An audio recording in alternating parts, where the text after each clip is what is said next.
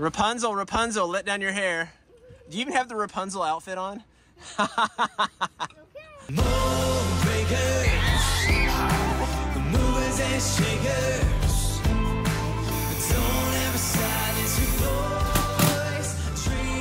So what's up fellow journeyers? Today you're gonna find out have my feelings changed about the paint? Am I embracing it? Oh, this is our last day. We have to wrap things up. Stewart and Lindsay are moving on. So we've got a lot of things we've got to get done today. We're gonna have the big reveal for you guys. Hopefully. we'll see. Did you do it, buddy? Did he do it? Yep. Good job, JJ. You get a prize, buddy. Hold on. Batman car. it works. It's a Batman car. Did you get that for going poo-poo? Yeah. Fist bump. This is probably one of my favorite changes we've made. I like the wood accents we're, we're doing around here. It's really nice. Obviously, you've already seen the wood trim at the top. The old color of the cabinets, as you remember, did not match that wood, but we had a vision in mind. We went back and forth, but I'm telling you, this color just is so calming and makes me feel so happy. it's a neutral, but at the same time, it just brings a little bit of like life in here. When you have an RV like this, your windows are your artwork, right? So like I wanted everything to just kind of flow even out into nature. I love it. So this, from what I understand, it's nothing more than just sand again. Now, obviously, you know what kind of surface you have, but you can just you can just sand it down. Um, and you can add some tinsel or whatever that is too.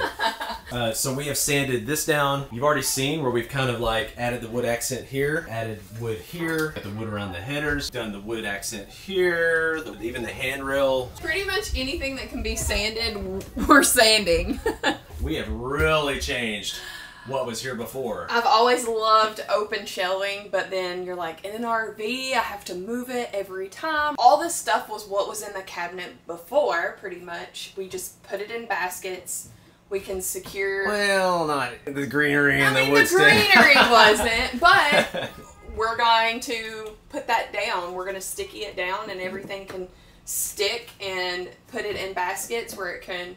Um, we can stick the baskets and ride. I will have to figure out a cup solution. I'll probably have to pack those up. Instead of the wine rack, I was like, I wish I had a place to store my fruits and vegetables. Because right now the fruits and vegetables sit Yeah, on the we kind of keep them in a bowl on the side. And when we had the Airstream, we did, we had like a hanging fruit basket that kind of protected our flat.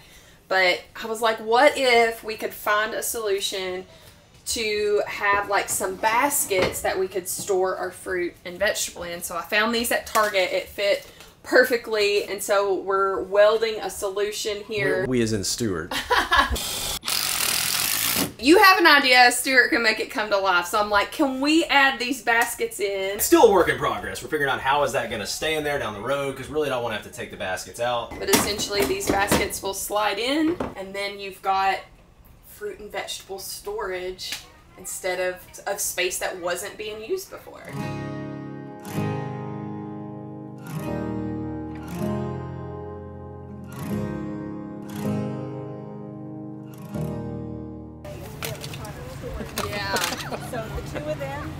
Sweatshop, you know. full days, all of them. Get going, girls. Doing good. So next surprise for you guys, we're taking a window out. I wish we were kidding, but we're not. A window has to come out again. But at least it's not for the couch this time. Gonna fit. Yeah, here goes another window. We noticed um, over the last few weeks. Uh, did you clean the streaks? I cleaned the wall You today. cleaned the streaks. Oh my god. I cleaned the wall well, today. I know, you can see a little bit of Oh, it right yeah. here. Down the window, there's streaks coming down. You can see here too. Marissa, thanks a lot for cleaning, but um, yeah, so you could tell there's some water coming in this window somewhere. This is not one we've taken out. The one we've taken out has been holding up. As far as we can tell, it's not leaking at all. Taking this window out, which at this point we're experts, right? So that window's coming out. We're gonna reseal it, and then we're putting it back in, which is why we have the sweat labor going on with the kids. Um, Stewart's gonna be backing his truck up over here. I feel really official right now. Yeah, that's very uh, definitely official window attire. Oh, big truck backing up. Look, big truck. All right, so our hardware came in. The first one we ordered did not fit, apparently. Um, It wasn't my fault.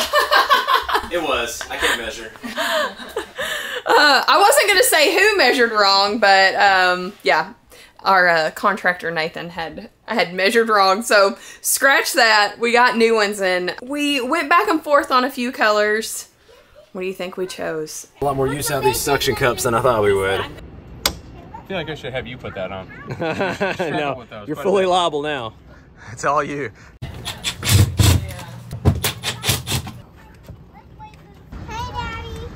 What's up?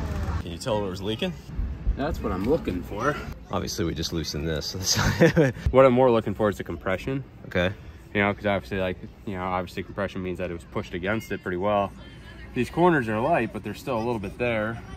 Like I said, I'm gonna get this prepped and then I'm gonna go back just to double check everything on the seal itself, on the actual unit. But like the shocking part is, like, you know how much water was coming into this thing. Like, I would have figured this would at least still been damp. you saw it before she cleaned it up, I guess. The streaks, right? Oh yeah, I mean, it's, Timed that cleaning I, perfectly. w- I wouldn't, I wouldn't be pulling, pulling the, the windows. No, it's just a regular occurrence around here now. I mean, it's we not a thought good, you, we thought you looked bored and wanted you to yeah, come it's not a good window. time until we're taking windows out around here. See, like your hair down. Rapunzel, Rapunzel, let down your hair. Do you even have the Rapunzel outfit on? there you go. All right, I'm climbing up. Ready? I'm gonna pull it. Oh, oh no, Rapunzel! You cut my hair.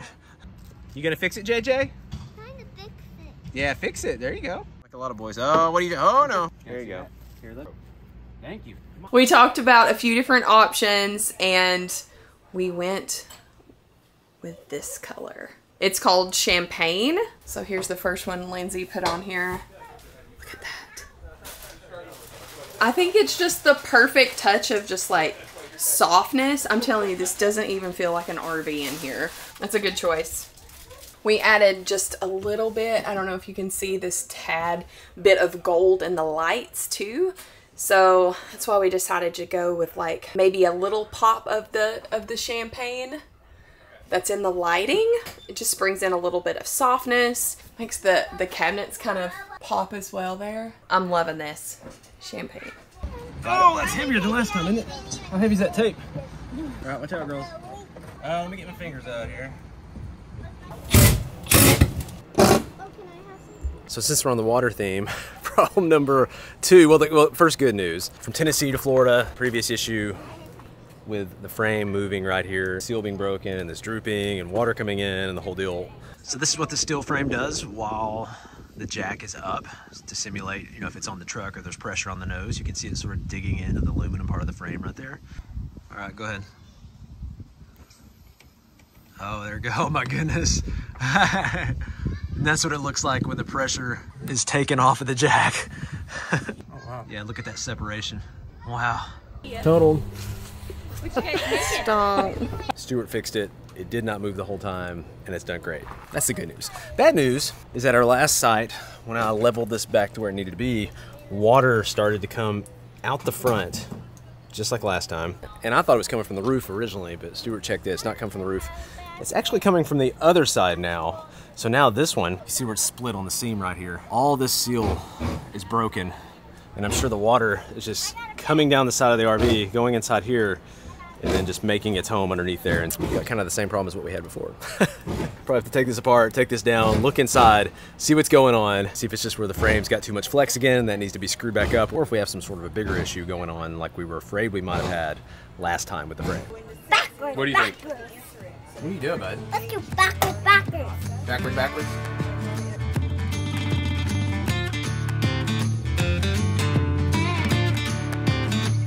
Deja vu. Oh no. Oh my goodness. Oh, the plate is down, man. That plate is bent now. Look at all that water, all that moisture in there.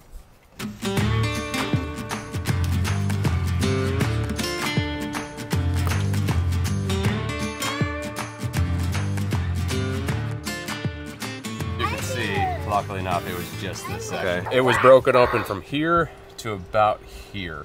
I mean, you think it's out- to deal with insulation's okay? It's a, I pulled mean, out the wet stuff. Okay, so- Because it would have never, never dried. If you want, we could get more insulation to pack in there. Um, I mean, if you think there's enough, I'm good, but it's. I, I kind of pillowed it out. I mean, I didn't pull out a ton. I mean, by any means. So you think we're good now?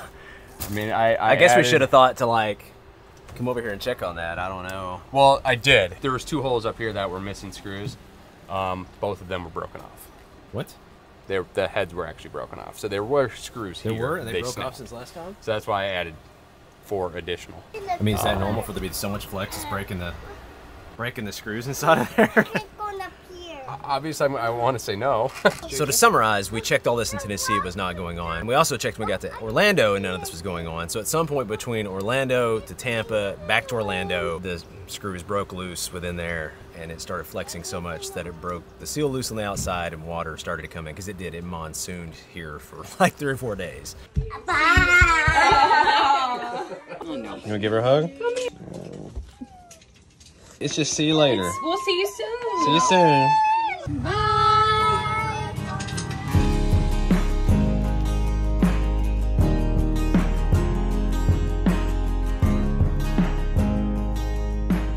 Okay, so I think we got the water issues taken care of, at least for now. It's all part of the journey. All part of the journey. We'll see how it does going down the road on the front again. So this video is about before and after. Like, what do you feel that's different in the after than maybe what you felt before? Like, what has this done there? It's totally opened up the space in here. We had redone our house that we lived in um, before RV life, and I just really enjoyed that process and bringing something to life. I think it's a cool hack that RVs can definitely be updated to feel like a home, and definitely don't think you have to redo an RV. This RV had good decor before, but just don't be scared because I know for some reason in an RV it's intimidating because it's it's very a very similar process. So we've used different things for paint. Supply chain is just a mess right now. But you want to get something that's higher end. It's a small space. You're not buying a ton of paint. Just just just spend the money, get some good paint. Don't ask us how we know. Yeah, yeah. And I skipped a little bit in our open range and I should not have.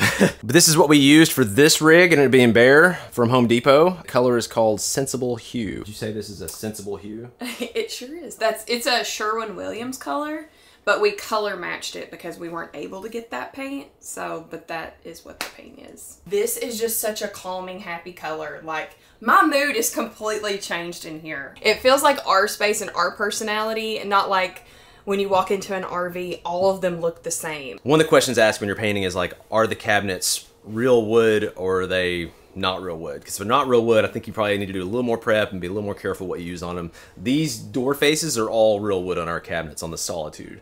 So just a little sanding, throw it on, you're good to go. The rest of the cabinets beyond that, this is not real wood, um, which it still seemed to do okay on that too. So we did it up Velcroing. This is all Velcroed. It will come off if we need it to, but it's it's Velcroed down. This is Velcroed, Velcroed, Velcroed. I mean, a lot of this is Velcro down. So we're still going to move around a few things, but hopefully not too much. Today is actually a travel day, so I'm curious. Uh, our next video will start with us moving. Really short travel day so that we can just keep an eye on everything and see. Anytime you do something new like this, you want to like see how it travels down the road. And guys, I know if you feel like me, like you may have your, I'm a very black and white kind of person. Um, She would throw out colors.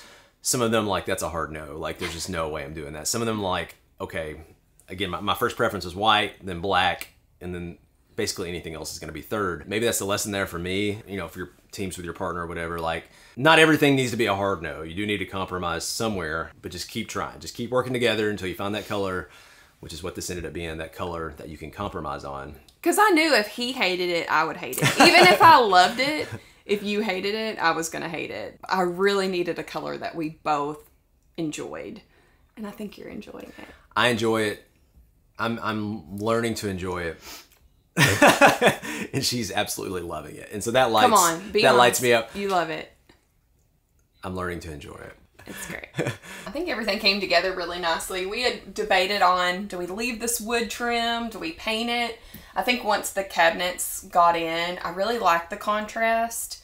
Um, it kind of brings some warmth and texture into the into the place. But if you're not into wood, those are easily paintable as well. And that's something you'll see on our channel a lot. We make decisions even with buying RVs and the travel thing and everything. Like sometimes we'll just make the best decision we can for the moment. If it's a low risk decision we know we can build off of. So we didn't 100% commit on painting the trim around the slides and stuff because we knew let's do the cabinets first and then we'll decide on that. So it's, it's okay to do things in phases. We actually painted all of this white first felt that out and said, okay, next is gonna be the trim, next is gonna be the cabinets. So don't feel like you have to come in and say, all right, we're doing everything at once. We have to have a full blown plan. It's gonna be perfect. It's okay to go in phases. Did add some greenery in here. Yes, it can be something super simple. These are not real plants. Real plants die with us. Don't tell Oh, sorry. All right, go ahead. my black thumb. I'm already trying to keep two lives alive. I don't. I can't. I can't keep anything else alive at this point. Do you think this will ride, or do we need to take it down? Uh, I think it'll ride. Let's try. We're it. gonna try it and see if it rides. We'll find out. All this is velcroed down. This in the back is velcroed down. Velcroed, velcroed. So just velcro as much as you can down to hold it as we ride. Question we get a lot too is resale. What does this do to resale value? So I think the color choices you make, if it's very personal to you, but not personal to lots of other people, that could impact resale later on. And I think the second thing would be if the quality of the remodel, if um, you know you can see the brush strokes all over the place, if things are just uneven. If I think as long as the remodel is done well and it's done to be appealing to a wide audience, um, I don't know that you lose much, if anything, when you remodel. Some people are even making some serious money by buying old RVs and like redoing them. Because a lot of people want a renovated RV, but they, I mean, it's a very strenuous Mm-hmm. process. Ton of nook and crannies. Lindsay came up with the idea to do the island just one shade darker than the other cabinets. Just that one shade darker on the island just really adds extra dimension and like a little more pop of color. And that's a really fun touch, is just that one shade difference. we haven't shown you guys the bedroom at all, so totally fresh, totally new. Ready to do this thing? All right, the bedroom is a work in progress. This is just Well, it's probably what what seventy percent maybe on the bedroom maybe.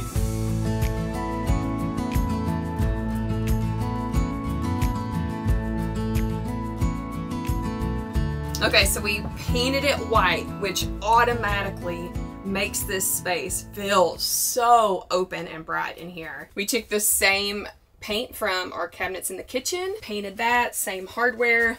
We're one short if you noticed that, so we've got another one of those coming. Stewart and Lindsay just sanded the top of this down. Anyway, we can incorporate that natural wood look and as you can see, this is Nathan's office here, his desk. It's a multi-purpose room, but I loved the way this dresser turned out. It looks awesome. I have my brother working on some new closet doors that I'm so excited about. It's gonna be great. And I picked out um, some wallpaper that may get some comments, but I love it so much. And Have I seen this wallpaper? I don't think I've seen this wallpaper. Um, where's the wallpaper going? it's going on this wall here. Okay. So we'll we'll change just one wall of pop here, and then we'll keep everything else simple. And we've got some new bedding choices. I'm not sure what we're gonna do back in this nook yet, but we did take out the headboard, but that is a to be continued. Oh, and they sanded down our night tables as well as that same natural wood look. So so excited. For the bathroom? We painted the walls white. We added some the sticky tile back here. It's not the like cheap sticky. It's like feels like a really good, almost looks real tile. It's great. We're probably gonna end up um, having to hand paint these cabinets because everything else was sprayed. But you can spray, you can hand paint. We've done both. We were doing this ourselves, and I knew I would probably only use the sprayer one time, which maybe you can rent them. I don't know, but like, would I invest six, eight hundred, a thousand dollars into the sprayer? Probably not, because we wouldn't have multiple jobs. If you already have the sprayer, or you have a friend that has a sprayer, the spray finish looks phenomenal. So all this was sprayed with a sprayer in the ceiling and just look how just beautifully finished it is. There's no paint strokes on it. There's no missing in the cracks. Like it all looks so well blended and just like it's meant to be that color. Um, and even on the ceiling, it just looks flawless. It's just a really flawless finish. And the sprayer is just a really great option if it's available. So the kids' room is a work in progress as well. We've got the walls sprayed. We changed out the trim on the slide here. I want to get the baskets changed out and find a way to display their art in here. I think that would be really great. We get asked about how we did JJ's railing um, quite a bit. We've added that to our gear list if you want to check out what hardware we use for that. But this is working out great for that. So excited about the before and after changes we've made to to make this feel like a home. And I waited a year. You asked me to wait a year 11 months. I'll, I'll take it's it. I'll take it 11 months. I think we did phase one. But yeah. So if you want to see more of our renovations, we did a renovation on the Airstream. Painting in this thing takes forever. We did a renovation on the open range. I'm paying you in tacos. Thank And then we did a renovation, obviously, in this rig with phase one. And now phase two. I'll, I've created a playlist where you can check all those out in one place if you want to get motivated or you want to see what we did right or what we did wrong. We're, we're super pumped to let you guys into our home and just see the before and after of this transformation. Well, that is our journey for today. Until next time, we'll catch you guys later.